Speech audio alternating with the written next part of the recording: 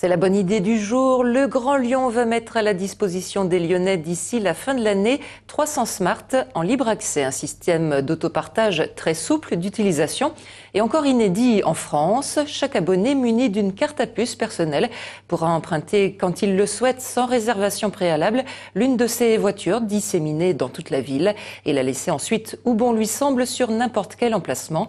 L'utilisation d'une Smart en libre accès sera facturée 15 euros de l'heure et en deçà entre 24 et 30 centimes la minute.